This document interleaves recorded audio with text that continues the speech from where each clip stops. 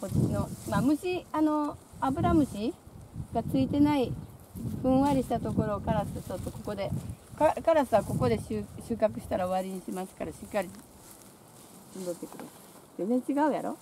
美味しそうやろ？ここら辺のだったら生で食べてもいいぐらい柔らかそうだと。これを見て美味しそう。どれを